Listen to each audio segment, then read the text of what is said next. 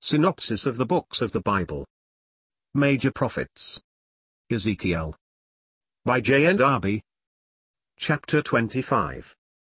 Judgment pronounced on definite nations rejoicing at Jerusalem's destruction. Ezekiel 25 has an especial character. The nations that surrounded and that were within the territory of Israel rejoiced at the destruction of Jerusalem, and of the sanctuary. Therefore God would execute judgment upon them.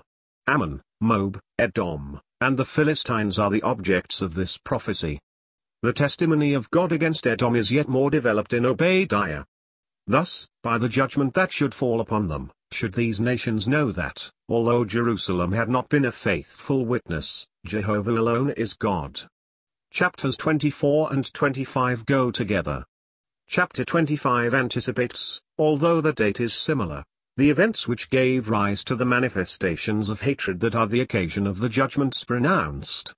But the Spirit had shown itself in these tribes or nations from the commencement of the desolations of Judah and Jerusalem. Their introduction here is easily to be understood, for these nations were to share the same fate, and are included in this judgment because they are all upon Israel's territory. Another remarkable element, found also in other prophecies on Edom, and giving a wider meaning to the one we are considering, is, that it declares that the judgment which shall fall on Edom, in the end, shall be executed by the hand of Israel. Compare Obadiah 17, 18 with verse 14 of this chapter.